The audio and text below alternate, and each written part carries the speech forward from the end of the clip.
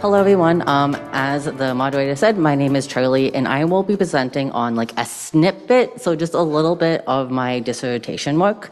So as I said today, I won't have time to present all of my um, findings and all of my research.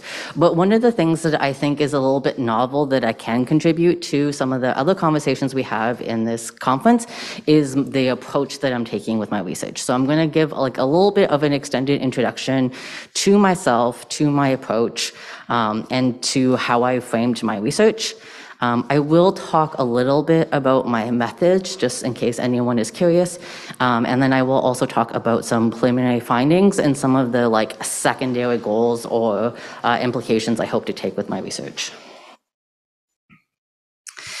Um, so one of the things that is really important to talk about in relation to my dissertation work is that it is heavily informed um, by uh, the graduate program that I'm in. Um, so I am a PhD uh, candidate in community psychology, and I'm just going to take a moment to explain what this is because most people. Um, oh, sorry, I'm looking at notes for the wrong slide. I will explain what that is in just a moment. Um, but in addition to this, my work is also heavily informed um, by my living experience. So I have about 17 years as a community organizer, as a community advocate. I started, um, you know, some of this work in high school as uh, a member of my high school's first uh, Gay Straight Alliance, um, and then now has branched off to be working with different municipal and regional governments, looking at uh, creating EDI policies. Um, I also am a community uh, a community partner on, on research teams, and I'm also the academic in a lot of community spaces. And so I bring this duality with me um, in all of the spaces I go.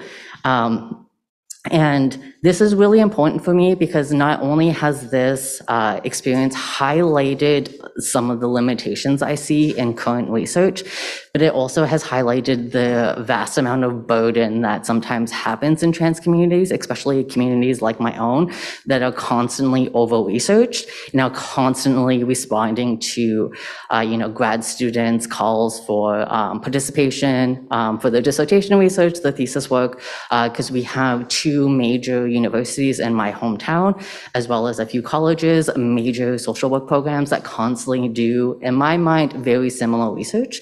And so a lot of this has kind of shaped how I approach my research. Um, so as I said, I just wanted to take a brief moment to talk about community uh, psychology. Um, so community psychology is or branched off of clinical psychology, and it focuses at well-being at a community level versus an individual level.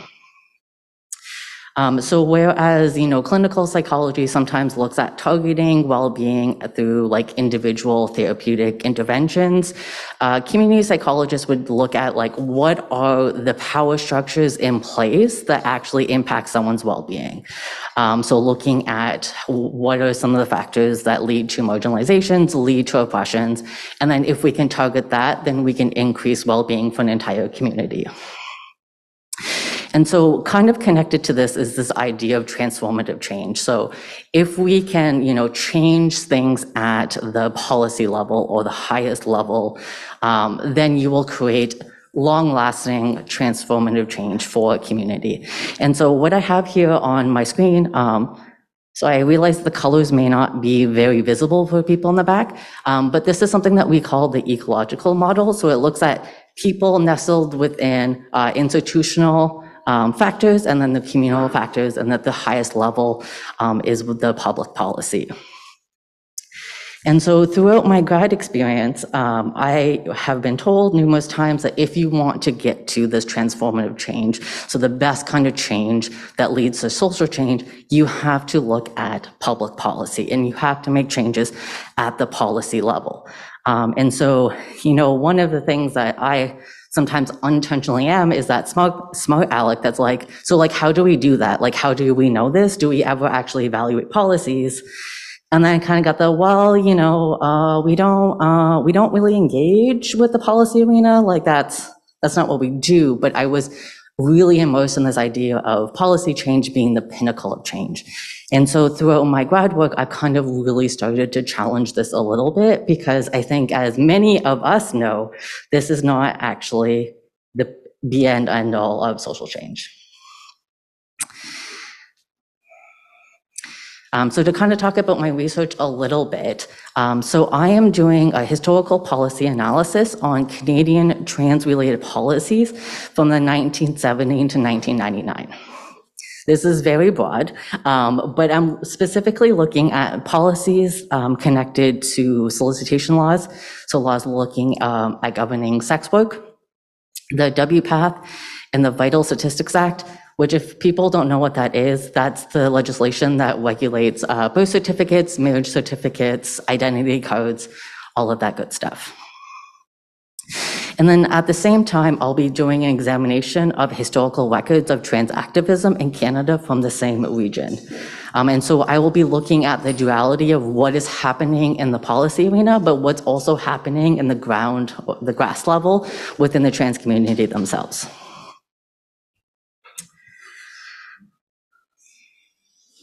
So one of the reasons why I specifically wanted to focus on policy is because I think at this point, um, as I said, coming from this community that's very overworked by the amount of calls I have to research, is that I don't think we're actually saying anything new in a lot of the research that's being generated. Um, and I don't mean this to, you know, dismiss anyone else's research, but I think we have enough decades worth of research saying that trans people have barriers to healthcare, and we need to start framing this as a systemic issue.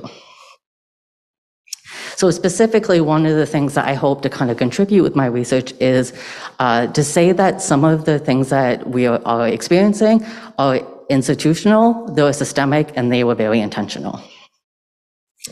Um, and so, uh, so one of the things I wanted to do with my dissertation was uh, do something that would actually help explain the full parameters of the institutional barriers that we are experiencing today, um, which is to take a look at how trans policies were created on the onset. Um, and one of the ways I kind of hope, sorry, um, and one of the perspectives I hope uh, to take when I start framing my analysis is by situating the healthcare system as a colonial system and part of current colonial processes. And so the healthcare system has been, uh, has been created and designed along with all the other government institutions. And so like, like the RCMP, like police services to, um, sorry, um, and so because of this, the healthcare system has been utilized as a part of colonization, and this includes colonizing the genders to create this false um, binary of this, you know, gender binary. And so I think if we start collectively referring to trans experiences within this lens, I think we can start looking at our experiences within a different perspective. And so one of the things I um, specifically want to interrogate um, is this power that we give healthcare and healthcare workers. Um, and so one of the reasons why I specifically want to look at the unacknowledged and you know, untalked about power within healthcare, um, healthcare providers, sorry, um, is because of the work and some of the barriers I experience in my uh, community advocating work. Um, so one of the things I do within the community is I try to work with medical personnel specifically to say, like, what are some of the barriers you have in getting your peers on board? Because I'm a community member, I'm an academic, like, I got all the resources, like, let me know what you need and I will help you.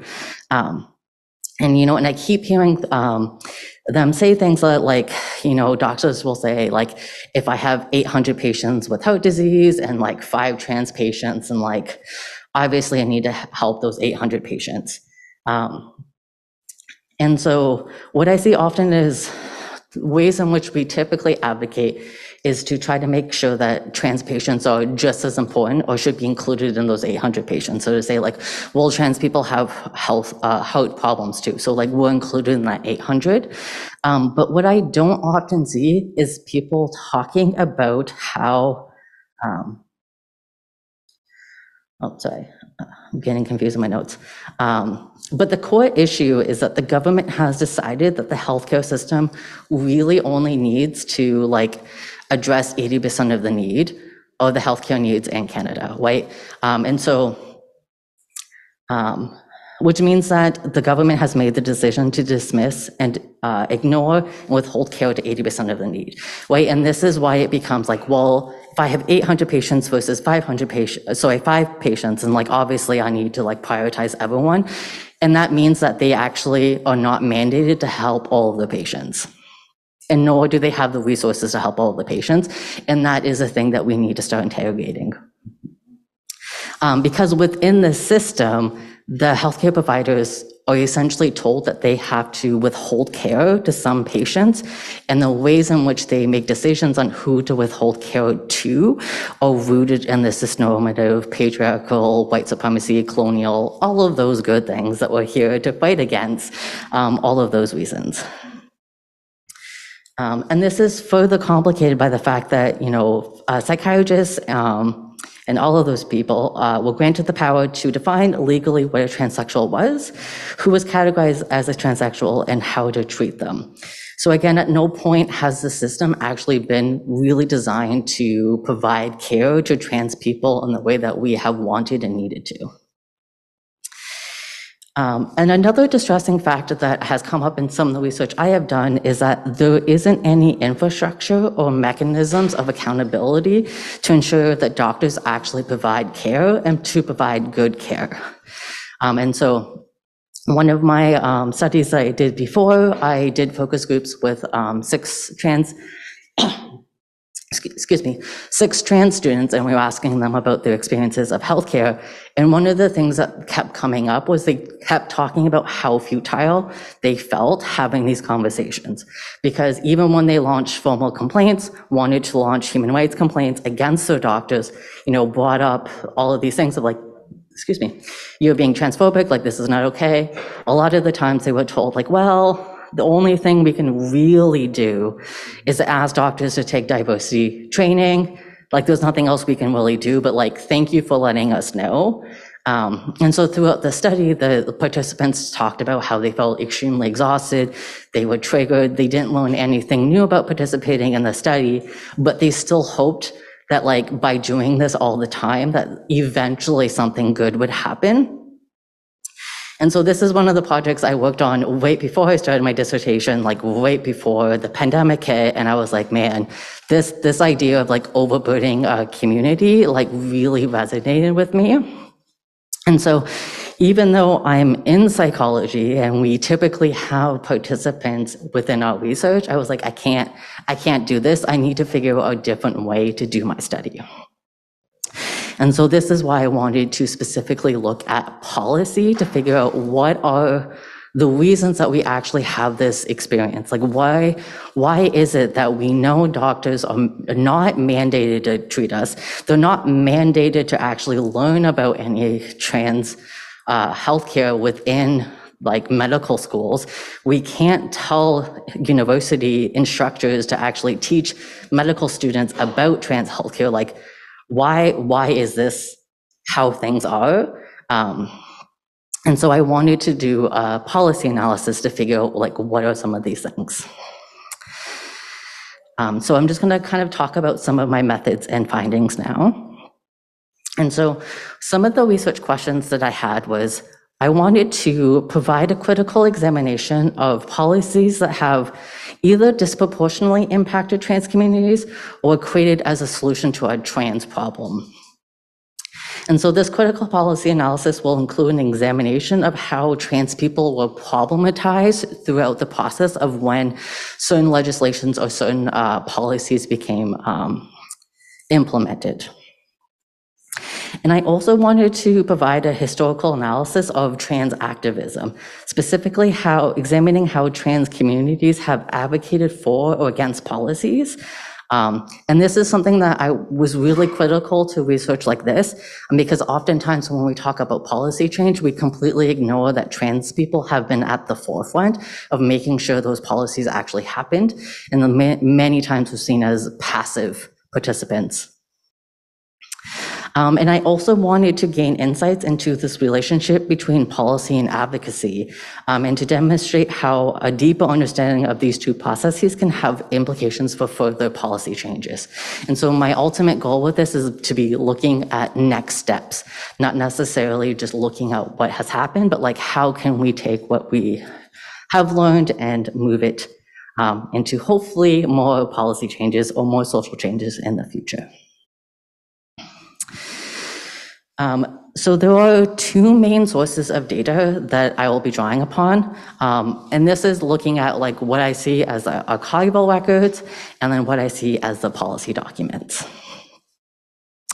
Um, so the archival records, most of this uh, data I have collected. So I'm looking at transgender uh, archives here at Victoria. So in the fall, I spent 12 days here going through all the archives.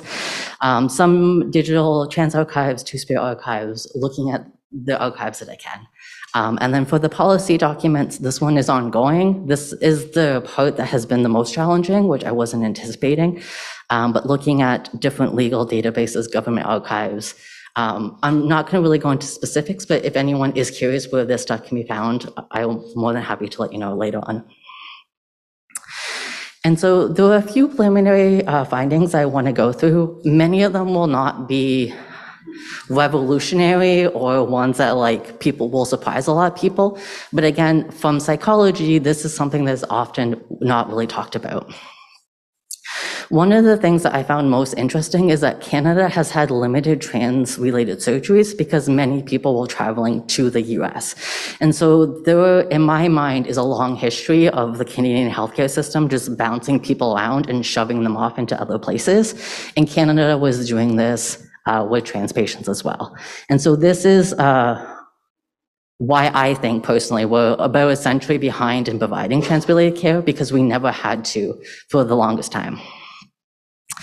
Um, there were large international networks that were created to keep each other informed. So some of the advocacy work that I am doing right now is exact same as what's been happening in the 50s and 60s. Um, so that was disheartening, but also kind of validating to be like, yes, this is this is the proper way to do trans advocacy. Um, one of the things that I was not anticipating was the fact that a lot of the things that were happening in the 70s and 80s were a result of Trudeau's 1969 omnibus bill. Omnibus bill. Um, and so for those who don't know or you know who are not Canadian, um, the 1969 omnibus bill, so I can't say that, um, was seen as the start of the gay rights movement in Canada. So Trudeau Sr. or Pierre Trudeau said there's no place for the state in the bedrooms of the nation. And so this is seen as like him recognizing that homosexuality needed to be uh, decriminalized. Um, this is actually not what happened at all. And so what Trudeau ended up saying was, you know, there is no place in the bedrooms of the nation, um, but that was just recognizing that the police couldn't um, didn't have any jurisdiction in those areas. And so what it ended up doing is essentially taunting the police by saying, you can't stop these queers from doing what they want to do, while at the same time, I think giving hope to a lot of queer trans folks that they had now been recognized and validated by law, so they started to become more visible. And so what you actually see um, when you look at historical records is a huge spike in queer phobic violence in the 70s, and that's because of this bill. And so this was not something I was intentionally going to look at, but this ended up being um, the start of a lot of transphobic violence and homophobic violence that we saw starting in the 70s. Um, so the last thing I kind of want to end on is looking at um, how many of these archives are very white. Um, and there's two reasons for this. Um, one is that when we look at the time period, racialized communities were um, obviously dealing with very significant other forms of violence. Um, and the other reason is that a lot of the ways in which we advocated was steeped in this middle class respectability. So as I kind of said, like a lot of the times in which we try to advocate is that we try to make sure our community is part of that 80% that should get care. And so this has left out a lot of people over the years. Um, and so what I am hoping to kind of highlight with some of my research is to prove is that we need to look at the system and make sure the system can accommodate 100% of the care that we need rather than just fighting who gets included in that 80%. Um, and the other thing is that archival work is emotionally exhausting. And so when I was uh, talking with my supervisor about, you know, some of my research, I received pushback for about two years about not doing interviews. Um, and I was like, I don't want to burden my community. Um, and it seems that a lot of that has shifted to just being burdened on me. Um, and so I'm, I'm, sure that this is not new for many people in the room. Um, but it is something that I wasn't anticipating. I was not anticipating to be harmed so much by realizing that there was a whole Canadian trans history that I had just never heard about. Um, and so this is something I hope to highlight um, with my research as well. Um, I do have one other slide, but I know I'm out of time. Um, so the, okay, awesome. Um, so I don't know if people in the back can see this, but this is a button I found that says theory mutilates, surgery liberates. Um, this is something I found significant. It's not really related to the context on the slide though. Um, so some of my dissertation has been born out of this anger that psychology especially, um, but also related fields continue to pump articles about primary studies um, that don't actually build on each other and don't create that like momentum we need to like take down the system or to address the system which has led to uh, a lot of burden and burnout within trans communities. Um, and so for my dissertation research, I wanted to provide a roadmap to other psychologists and psychology research and how this can be done without participants, how we can look at what people have already been said. So as we have listened throughout the conference, like people have been telling the story for decades.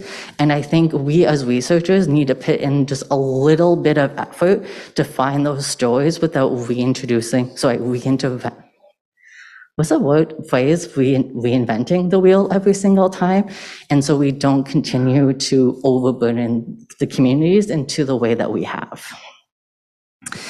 Okay. I think that's my last slide. Yeah. Perfect. Thank you. So um, hi everyone. Um, thanks for having me. Um, so my name is Adrien McCrory my pronouns are he him. Um, so i recently completed my phd uh, at the australian catholic university. And I'd like to talk to you, I guess, all today just about some elements that came out of my research, which was overall on Australian um, trans and gender diverse experiences in the criminal legal system um, across the 20th century. Um, before I start, I'd like to acknowledge the traditional custodians of the lands from where I'm speaking. Um, so I'm on the stolen lands of the Wurundjeri and Bunurong people, and I would like to pay my respects to elders past, present, and emerging, and acknowledge the ongoing strength and resilience, especially of trans and gender diverse people within Aboriginal and Torres Strait Islander communities. Um, so this always was and always will be Aboriginal land. Um, I'd also like to give just a quick note um, about the content of this presentation. Um, as I'm talking about historical experiences of trans people in the criminal legal system, um, naturally I will be sort of discussing instances of uh, transphobia, homophobia, institutional and systemic violence and discrimination. Um, I don't really go into anything too explicit, um, but you know, do feel free to step out at any time or anything that you need to do, as I understand that these histories can be sometimes quite difficult to listen to. Um, so yes, uh, in this paper, I'm just going to be talking in quite broad strokes um, about the experiences of trans and gender diverse people um, in Australian prisons, uh, in Australian prisons from around the 1950s and 60s through to the present day. Um, there'll of course be a lot of detail that I'm brushing over, um, but sort of the key question that I want to sort of look at and examine is what can these histories tell us about how the prison system deals with gender diversity and what are the many significant limitations of understanding gender diversity within sort of you know sex segregated carceral institutions and environments. Um, so going back uh, to sort of the 50s and 60s, the first real information that we have on uh, systemic housing for trans and gender diverse people in Australia uh, relates to Cooma Jail in New South Wales. Um, I'm not going to go into too much detail about the history of Cooma Jail itself, um, but if you are interested, I strongly recommend uh, the Greatest Menace podcast by Patrick Abboud and Simon Cunich. Um, in short, Cooma Jail was established in the 1950s as a prison specifically designated for housing prisoners convicted of homosexual offences, uh, or they termed homosexual offences. Um, so it's unclear exactly when it stopped operating as this kind of homosexual prison, as they called it. Um, but it was in operation at, as such at least throughout the 1960s and into the 70s. Um, and the prison was concerned with studying homosexuality and experimenting with different types of treatment um, on prisoners. Um, it's unclear exactly what took place there, as records are quite um, difficult to get a hold of. Um, oh, sorry, I've got an alarm going off. Um, but Cooma seems to be the only prison in the world, or at least the only one that we know of, that was specifically designed to isolate and house uh, gay prisoners. So while the prison was not uh, explicitly designed to house trans and diverse prisoners, um, due to sort of the conflation between male homosexuality and gender nonconformity, it appears that there was at least a small but notable population of trans women housed at Cooma Jail. Um, so the Greatest Menace podcast, uh, for example, features an interview with a trans woman named Jackie who was incarcerated at Cooma during this period.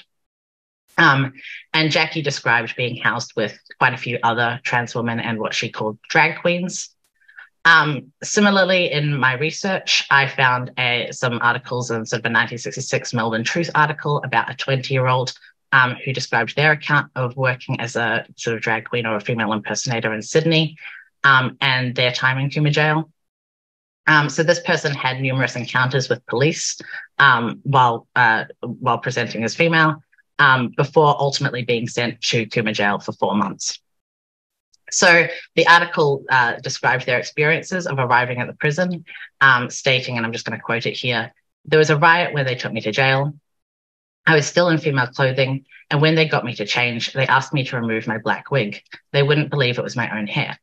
The first day I started wa- uh, walking in the line, the other prisoners whistled, and the warder pulled me up and told me to walk like a man or else.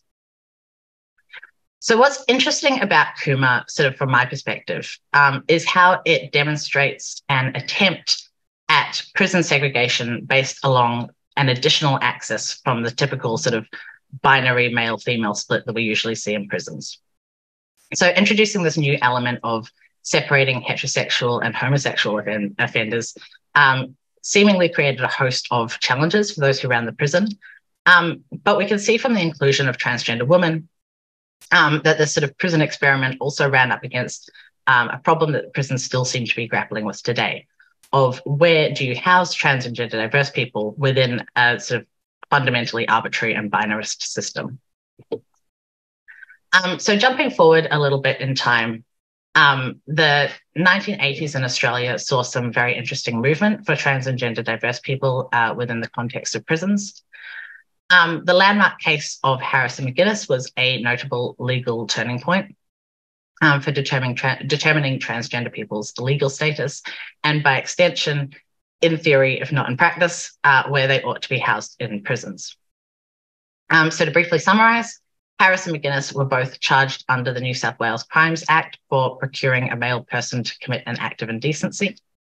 Um, Harris was a transgender woman who had undergone gender affirmation surgeries um, McInnes was a transgender woman who had not undergone gender affirmation surgeries. Um, and the question at the heart of their case was whether Harris and McInnes were each legally male or female, um, as the Crimes Act made it illegal for males, but not for females to procure sexual acts with men. Um, the original ruling in 1982 concluded that they were both legally male, um, the magistrate stating that uh, there were only two categories of sex. Um, so the judge said that there was uh, that it was clear that both defendants were persons with male bodies who live as females, and he ruled that gender, in a legal sense, should be indicated by chromosomes, uh, gonads, and genitals, meaning that gender affirmation surgeries would not be considered as a basis for a legal change in sex. Um, but in 1984, Harris McInnes's solicitor appealed the ruling um, and sort of stated that no Australian Parliament had actually determined the outcome to the issue, uh, and it was up to the court to make a decision. Um, trans rights and sex work activist Roberta Perkins gave evidence at the appeal, and she stated that in several instances, um, Harris had been previously sent to jail for misdemeanors um, and had always been admitted to the Mulawa Women's Detention Centre, showing that uh, in practice, the system was recognizing her as a woman, at least in some instances. Um, so the final ruling by the Supreme Court of New South Wales uh, was not reached until 1988, um, but the ultimate verdict was that Harris was legally female on the basis that she had undergone full sexual reassignment surgery. Um, and because, because McInnes had not had uh, these surgeries, she, by contrast, was not um, judged to be legally female. Um, so, sorry, I'll just have a quick drink. At the beginning of the 1980s, um, there was some debate over whether the New South Wales Corrective Services um, should establish a jail specifically for transgender prisoners, somewhat reminiscent of um, Jail in, in previous decades. Um, and they sort of said that it was difficult sometimes to determine whether a prisoner should be in a jail for male or males or females. Um, so this facility was never built or implemented. Um, in practice, trans and gender diverse people were simply placed ad hoc in prisons based on a range of factors, um, mostly tied to sort of perceived gender presentation. Once incarcerated, um, trans prisoners were at the time at times the center of political scandal. One particular example of this was uh, discourses around transgender women um, inside Long Bay Jail in New South Wales, where, according to reporting uh, um, around 1980, um, about 20 trans prisoners at the jail were being provided with French type female underwear and makeup in a reduced, reduced in an effort to reduce tensions within the prison. Um, the prison administration had also allegedly um, paid for female impersonators to go to the jail to instruct prisoners in dress and makeup. Um, it's unclear from the reporting how much truth there was to these allegations overall, um, but they do demonstrate an anxiety which was present in society at the time regarding how gender diverse prisoners were to be treated. So, was their gender identity a factor in their crime? Was it dangerous or offensive to provide accommodations for their gender expression? Um, and could prisons, them, prisons themselves be sort of complicit in encouraging gender diversity um, or sort of, you know, deviant sexual behavior as they might have considered it? Um, skipping ahead again, the 1990s and the 2000s um, saw much more concentrated efforts to legislate for trans and gender diverse prison considerations, um, as opposed to sort of the ad hoc challenges of prior decades. Um, throughout the 1990s and the 2000s, state and territory prisons um, developed and implemented policies for housing trans and gender diverse prisoners. Um, these policies typically advised against placing transgender men in male prisons out of concern for the safe, their safety from fellow inmates. Um, so in some cases, this meant housing them in female prisons. Um, it, in other cases, it meant isolating them from other prisoners entirely. Um, meanwhile, transgender women were more likely to be housed in male prisons um, out of this concern for the perceived safety of other cis women prisoners. Um, so, transgender women, as we all know, were and are consistently characterized in sort of transphobic discourses as um, men who are invading women's spaces and things like that, um, with the goal of, you know, assaulting cisgender women or, or things like that. Um, and worth noting here as well that research has shown uh, that not only are transgender women, of course, highly unlikely to assault cisgender women in sex segregated spaces, but are themselves more likely to be the victim of assault and harassment in these spaces. Um, so awareness of transgender existence heightened during these decades, um, and many legislative and legal institutions raced to catch up um, with the issues that trans and gender diverse people themselves had already been discussing in their own communities many of these debates focused on the question of when uh, someone could or should be considered to be transgender, um, and more broadly, what gender was. So these debates would focus around was gender a fixed biological category, which could only be changed via surgery and perhaps not even then, or was it a social category based on identification and lived experience? Um, there's a lot of nuanced discussion around, you know, all of these questions around the nature of gender, gender categorization. Um, but when it comes to legislation and policy, especially in relation to, for instance, prison housing, nuanced approaches to these discussions created significant challenges. So there's little room for nuance when deciding where to house someone in a binary sex segregated prison system. Um, and the alternative possibilities, such as solitary accommodation, often pre um, presented significant challenges to a prisoner's well-being and human rights. So the 2010s uh, and the 2020s so far um, have seen a raft of amendments around Australia to prior policies um, from the 1990s and the 2000s. Um, and these amendments are typically designed to broaden the categories of who might be considered trans or gender diverse. Um, so, for example, removing requirements for surgery or for hormones. Um, discourses are ongoing around the placement of transgender prisoners in line with international fearmongering about trans women primarily as dangerous offenders. So, an example of this would be August 19, 2022, for example, the Australian Herald Sun newspaper published an article which stated that inmates at the Dame Phyllis Frost Correctional Centre, um, a women's prison in Victoria, Australia, were having their safety threatened by the presence of a trans woman in the prison who had a history of sexual assault against women and children. Um, so arguments against her presence in the prison included that she was not on HRT and that she had a quote working penis. So the article stated that Corrections Victoria must ban trans prisoners from women's jails and prioritize the safety of female inmates instead of trying to appease the trans lobby. So, despite policy changes around Australia, trans and gender diverse prisoners are still being housed on more or less an ad hoc basis, um, and more and most often simply on their sex assigned at birth whether this is for the safety of transgender people themselves, as they claim, or for the perceived safety of other prisoners, um, or simply for the convenience of prisons. This exposes a contradiction between the state's legal recognition of trans and gender diverse people and the state's practices of policing and incarceration. More than this, however, um, it forces us to question what the criminal legal system is doing when it divides spaces along binary sex lines. So the rationale given is one of protection. Female prisoners must be housed separately from male prisoners for their protection. Trans men must be housed separately from cisgender men for their protection. Transgender women must be housed separately from cisgender women for the protection of cisgender women. And trans women must be also be housed separately from cisgender men for the protection of trans women, leaving trans women with isolation as one of few viable options. Non-binary people especially cannot be situated clearly within this framework. Um, and any attempts to house non binary people either fall back on solitary isolation um, or classification along rigid binary gender lines. Um, so, just to, wrap, just to, wrap, up, um, the reality is um, that this endless cycle of sort of classification and reclassification of bodies, gender, sexuality, from attempts to segregate gay men at Cooma Jail to picking apart the chromosomes, hormones, and genitals of individuals and rulings um, around the legal status of trans people, to ongoing discourses over placement in prisons. This is all fundamentally opposed to the reality of trans and gender diverse experience.